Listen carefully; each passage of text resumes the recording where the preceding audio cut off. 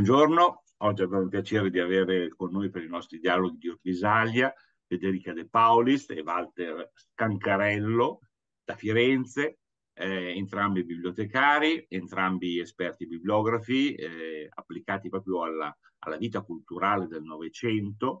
Eh, loro sono stati un po' i protagonisti di un'esperienza editoriale anche che al momento è conclusa, eh, legata a Regione Toscana e che si chiamava Bibliografia e Informazione, dove sono usciti volumi importanti, penso a quello su Montanelli, a quello su Dacia Marain.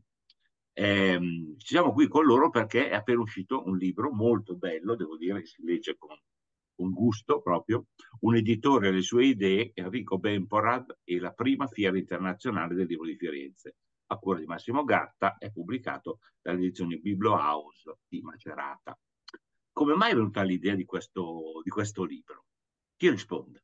Nasce da una, da una collezione, da alcune cartoline eh, illustrate eh, dedicate appunto a, da, alle fiere fiorentine, alle fiere del libro internazionali fiorentine che si tendono dal 22 al 32 in quattro edizioni diverse.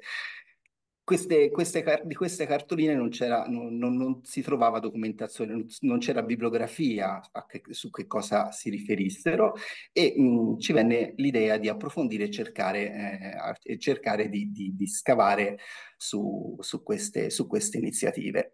E è venuto, è venuto, fuori appunto un, una marea di, di, materiali, di documenti, eh, tutti da scoprire, tutti da spolverare, e, e Niente, e quindi doveva poi tutto questo convergere in un'unica monografia che raccontava le quattro edizioni, ma eh, purtroppo eh, appunto in, in, occasione doveva, usci, eh, doveva uscire nel, 1900, nel 2022 in occasione dei 100 anni dalla, dalla prima edizione ma eh, tutto questo poi è andato, non è andato a buon fine per, per i fatti della pandemia e che ha bloccato ovviamente. E tutti i libri se li porta via, diciamo così.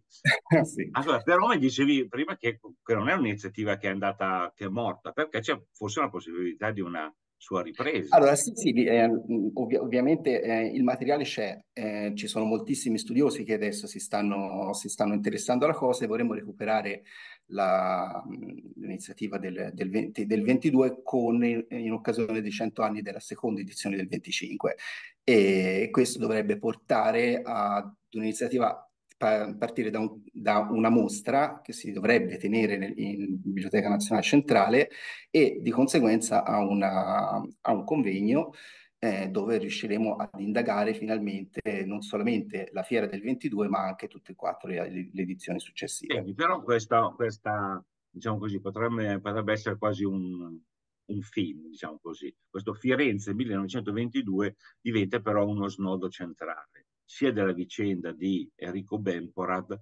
sia per, per la nascita di questa, di questa serie, di questi quattro simili e molto diverse fra di loro iniziative espositive. Eh, cosa c'entra la figura di Benport? Perché diventa comunque centrale?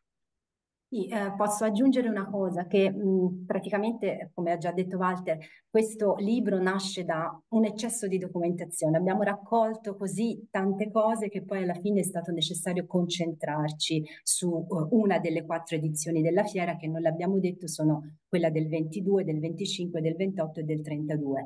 Quello che ci ha interessato in particolare era cercare di indagare che cosa era scattato no? in quel momento a Firenze, qual è stata la scintilla che ha portato poi a una manifestazione di ampissimo respiro di carattere internazionale, veramente una grande manifestazione. Una delle risposte che ci è venuta è questa, che a Firenze in quel momento c'erano uomini come Enrico Benterad, uh, una persona innamoratissima del libro, innamoratissima del proprio mestiere, del proprio lavoro, che non concepisce come un semplice, lui dice, stampar carta. Noi abbiamo cercato di dare tanta voce a Bemporad in questo libro, anche proprio um, attraverso uh, la trascrizione dei suoi discorsi, no? Uh, l'editore ha un ruolo importante, l'editore è un disseminatore di idee, no? eh, combatte eh, l'analfabetismo, combatte con è il suo... È un protagonista proprio della vita culturale. È un protagonista, per cui noi... Dice eh, quella, quella, dell'editore è la, la, più valorosa, ma anche la più difficile mercanzia, quella del libro. Infatti, infatti, lui ha questo discorso, no, di, gli editori sono mercanti, ma sono anche coloro che contribuiscono a elevare uh, la qualità spirituale e culturale di un paese, per cui Ce lo possiamo immaginare veramente un emozionatissimo Enrico Bempera quando il 7 maggio del 1922 si aprono i battenti no? della prima fiera internazionale del libro, lui nelle vesti di eh, presidente del comitato esecutore fa, tiene questo discorso ehm, a tutti i rappresentanti delle altre nazioni. Ecco, in quel momento, secondo noi, per lui e per i suoi collaboratori, è proprio un sogno che è diventato realtà, quello di essere riusciti a mettere su dal nulla uh, una, un evento portata, della portata della prima fiera internazionale del libro di Firenze. Perché 22 viene dopo quattro anni il 1918, cioè cosa vuol dire sì. questo? Certo, è anche una risposta, la, la, la, fiera viene concepita principalmente come piano anticrisi e come risposta alla guerra perché l'Italia sta attraversando tutte le difficoltà no? eh, del periodo post-bellico, quindi difficoltà economiche. Alla crisi economica generale si somma la crisi eh, del settore editoriale. Allora, ecco, la fiera può essere proprio una risposta per risollevare anche l'industria editoriale italiana che sta attraversando questo momento di stallo per tanti motivi, ci sono anche dei motivi proprio concreti, eh, penso al rincaro della carta, Bemporad si esprime moltissimo anche su questo, penso a, alla scarsa, alla mancata esportazione del libro italiano all'estero, Uh, ci sono anche qui diatribe, insomma, difficoltà, Bemporad anche su questo prende posizione, oppure mh, cose proprio anche più semplici, tipo che i libri circolavano poco perché c'erano delle tariffe postali molto alte questo era mh, appunto impediva al libro di andare tra la gente. No, è, è impressionante quanta modernità, quanta contemporaneità ci sia dentro in, queste, in questi discorsi che sono di un secolo giusto fa, perché è la questione dei, della, anche dei trasporti, eccetera. Pensate al, al successo di, di, di, di, Amazon che sta anche nel fatto che il libro ti arriva a casa, cioè c'è anche una questione di bypassare altri sistemi distributivi che eh, diventano, che rendono più caro il libro stesso. Però qui c'è anche eh, proprio questo tema della, della rinascita, no? della, della, di questa editoria che deve ritrovare uno spazio, deve ritrovare, deve trovare uno spazio eh, nuovo in questa Italia eh, post bellica. Lo può fare anche attraverso il confronto con gli altri paesi, no? Eh, L'Italia soffre un po' di questo senso di inferiorità rispetto agli altri, agli sviluppi che ci sono stati per esempio in, in Germania. La fiera è eh, un luogo perfetto di incontro, di scambio, di confronto reciproco. Eh, dice Bemporad, ehm, quale altra migliore occasione ci può essere per far vedere di che cosa siamo capaci, ma anche per imparare, perché una diciamo delle delle caratteristiche anche più moderne di Bemporad è anche questa, che lui non si chiude fra le pareti delle, de, della sua bottega, no? Eh, lui guarda sempre, è un uomo di ampie, ampiissime vedute, guarda sempre eh, avanti e soprattutto è disponibile al confronto. Lui cerca di imparare anche da, da, dagli altri paesi. Nella relazione che tiene al congresso di Bruxelles del 1933, questo è indicativo di questa visione così vasta e internazionale. Lui fa un excursus eh, tiene questa relazione, che non è altro che un excursus dettagliatissimo di tutte le feste, le fiere, i festival, le settimane di cultura che si tengono in tutti i paesi europei. Questo per far vedere come appunto lui sia aggiornato, competente, sempre allerta e questo è uno eh, dei suoi punti di forza. Poi eh, avrà anche, diciamo, Bemporad luci e ombre, perché eh, c'è chi eh, lo accusò di essere invece uno speculatore senza scrupoli, Papini lo definì un viscido gnomo, eh, uno attaccato ai soldi eh, che voleva soltanto arrivare no? in alto. Eh, è una personalità molto Però sulla, sulla, natura della, della, della fiera, perché così si chiamava, c'è tutto un dibattito molto interessante, quello appunto se deve essere una esposizione di bei libri o se deve essere una fiera invece dove, dove si, si, vende anche. Eh, Walter, cosa pensi? Cos'è questa, questa, questa no, infatti, posizione? Infatti, sì, eh, infatti, eh, diciamo che è da qui che scaturisce l'idea della fiera. Cioè, il, il, punto di riferimento è l'Ipsia, in particolare quella del, mille, del 1914, dove l'Italia partecipò e anche con un particolare, particolare successo. A differenza di, di, della fiera, che era pura esposizione estetica di Lipsia, eh, l'idea dei, dei, dei nostri tre eh, protagonisti della, della, della, fiera italiana fiorentina, eh, Barfucci, Vempora e Fumagalli, le finalità non dovevano essere puramente eh, di vetrina, appunto, ma eh, di, eh, come dice il regolamento, tra l'altro, della prima fiera, doveva promuovere la reciproca conoscenza tra le nazioni, mo mostrare alle nazioni, agli stranieri, agli stranieri le attività della nostra tipografia e delle nostre attività editoriali, agevolare il commercio librario internazionale, cose che in qualche modo l'Ipsia eh, avvicinava solamente, mentre per loro tre dovevano essere i punti cardini eh, dell'idea del, dell eh, delle, fiere, delle fiere fiorentine.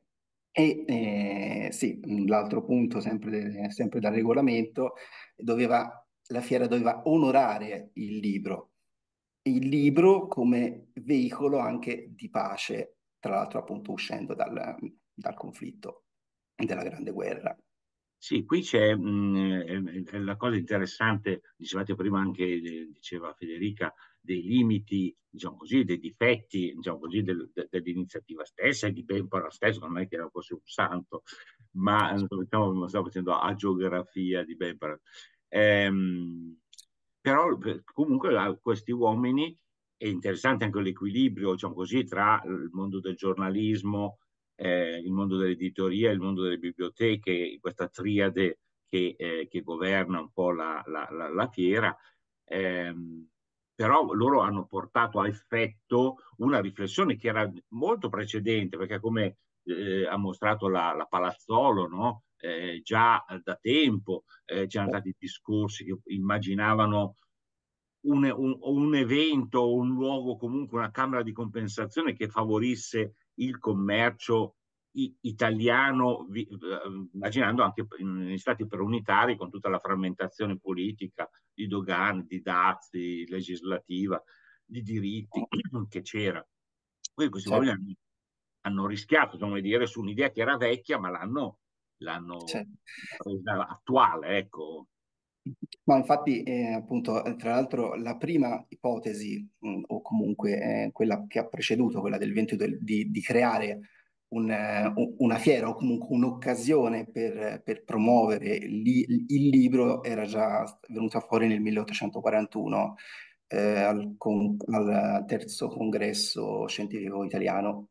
E l'editore Maiocchi propose appunto a, a tre illustri, Maier e Sir Ristori, e il VSE di, di, di portare, dice, dice che, di stabilire a Firenze una fiera annuale di libri cosa che poi non andò a porto per, per vari motivi, però appunto fu recuperata circa 80 anni dopo da, da, un, altro, da, un, da un, altro, gruppo di, di intellettuali eh, fiorentini di nuovo. Eh, però mh, lei diceva appunto te, mh, che la fiera si concentra soprattutto sul libro e attività editoriale, ma fu un evento molto più ampio che coinvolse tutte le arti. Cioè, noi possiamo immaginarci una Firenze Forse la musica non c'è, forse. no, c'era anche, mm, non, non, nella prima edizione, nelle edizioni successive ci fu anche molta musica, ma appunto una Firenze invasa da iniziative culturali di ogni genere, ogni luogo di Firenze, o comunque i principali,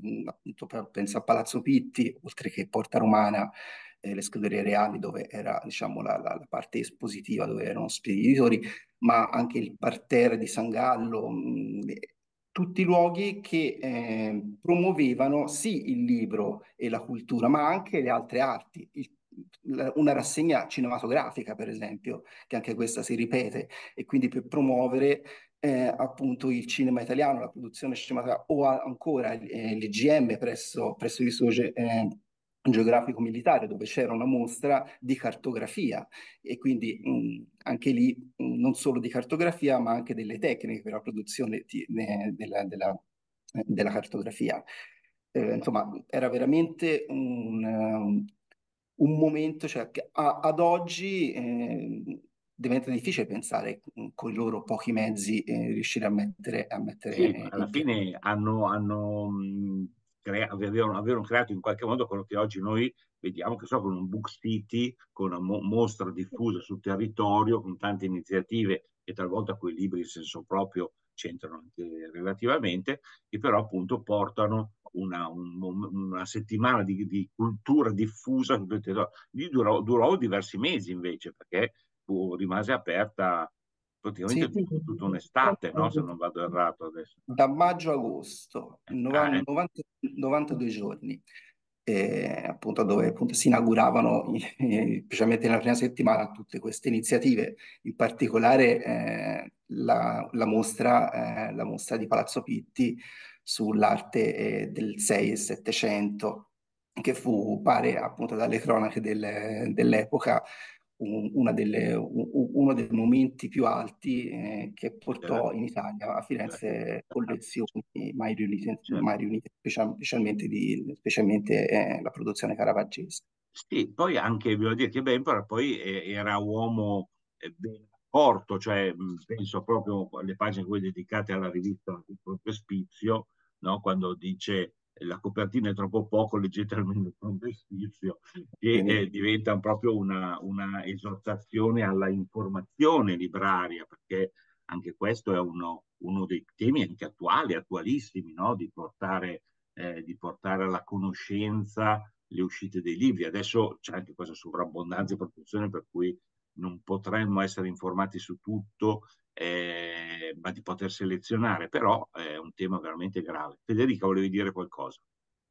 Sì, questo, questo fatto che ha già detto Walter eh, dell'imponenza no? del, del, progetto complessivo. Eh, il visitatore nella mente degli organizzatori doveva avere questa impressione di assistere a un evento eccezionale, un evento che si verificava una volta ogni due, tre anni, poi eh, diventerà triennale. Eh, tutta la, la, città era in, uh, in, rivoluzione, se ne parlava moltissimo anche sulla stampa, sulla stampa eh, coeva. Ehm, e, e in fondo appunto... c'è una bibliografia ricchissima eh, sì, relativa sì. proprio alla, all'eco sulla stampa un eco che molto spesso andava da un'edizione all'altra, cioè si trascinava dal 22 al 25 anche con le diatribe, no? Quindi non c'erano soltanto i fautori che, che lodavano questo sforzo di Bemporad e compagni, ma c'erano tantissime, asprissime critiche, c'erano tanti detrattori, primo tra tutti il risorgimento grafico di Raffaello Bertieri che trovava sempre il modo di ostacolare e di criticare l'operato di Bemporad Bertieri e il, e il risorgimento grafico si scagliarono in particolare proprio contro le manifestazioni di Corredo, le, le collaterali, le, le, le, iniziative satellite, eh, anche ironizzando un po', no? diceva allora perché non facciamo anche delle gare di tennis o dei tè danzanti?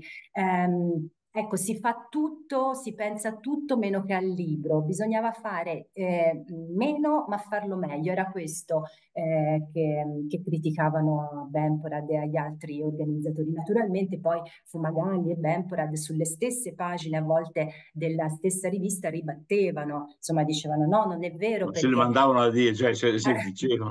Eh, il libro da solo non basta per avvicinare il grande pubblico, no? il popolo. Ci ci, vuo, ci vogliono anche perché sì, no. Mi ha impressionato molto quella feste. parte che andrebbe forse anche approfondita altrove della, di questa, poi questa mostra eh, del libro popolare, della cultura popolare. Bisogna capire, perché di qua allora c'erano dei libri che non erano ritenuti per, per, per il popolo, cioè, dire, erano libri belli, infatti erano chiusi in vetrine, mentre invece infatti. di là sono libri, c'è di mezzo anche Aldo, Aldo Sorani, che è un, una mia vecchia eh, conoscenza, eh, che fa parte però di quest'altro gruppo, di questa mostra eh, diciamo così minori, minoritaria, collaterale proprio di, di, di, cultura popolare, questo sulle biblioteche popolari e quindi eh, sarebbe interessantissimo anche riuscire a approfondire quell'aspetto lì.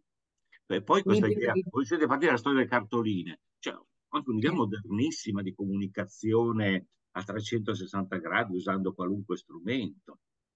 Erano tanti prodotti proprio promozionali, editoriali, targati Fiera del Libro. C'erano addirittura le mappe della città di Firenze per i visitatori con l'indicazione del, dei luoghi che avrebbero ospitato la, insomma, i tre luoghi adibiti ad ospitare la fiera, ma poi c'erano, venivano fatti dei diplomi ai partecipanti, appunto cartoline, brochure. riprodotto, sì. Eh, ogni singola mostra aveva il suo catalogo, eh, quindi non soltanto la mostra dell'editoria, sì, sì, quella principale, ma anche le mostre satellite. Bene. E quindi insomma, un grandissimo movimento di, di idee, di uomini, di energie. Diciamo così, questo libro è un po' un un, un, un sapido assaggio però di un mondo che è ancora in parte, in gran parte da, da, da scoprire, da studiare, che ha, mi, ripeto, mi colpisce tanto la, i risvolti di modernità che ha, di, dico, sulla contemporaneità, anche i paralleli che si possono costruire. Guarda, vuoi dire un'ultima battuta? Il nostro tempo sta per finire. Sì, eh, fondamentalmente appunto, ha detto benissimo, la modernità appunto e l'operazione è veramente, è veramente attu- anche attuale e, e, questa grande capacità di questi uomini eh, di eh, mettere insieme eh, appunto decine e decine di, di eventi in, in, due mesi eh, e coinvolgere appunto tu- tutte le voci eh, delle, art- delle arti appunto ultimissima, le settimane di cultura a Firenze in, quei, in quel decennio sono passati i premi Nobel che venivano chiamati eh, appunto per parlare, eh, per rappresentare il loro paese eh, e quindi insomma è stata anche, anche un, un, un'occasione per richiamare, per, per, per essere capitale della cultura.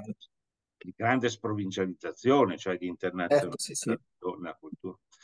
Grazie, eh, ripeto, il libro è di, di, piacevolissima lettura e di grande interesse, quindi ringraziamo tanto Federica e Walter, non solo perché sono stati con noi, ma perché l'hanno scritto e siamo lieti di averli incontrati. Salutiamo il nostro pubblico e arrivederci al prossimo appuntamento dei dialoghi di Orpisani. Buona Grazie. giornata. Grazie. Arrivederci.